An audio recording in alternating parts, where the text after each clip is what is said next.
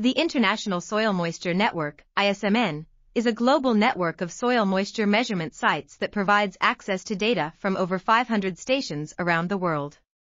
The network is designed to facilitate the exchange of data between participating networks and to make this data accessible to researchers and other interested parties.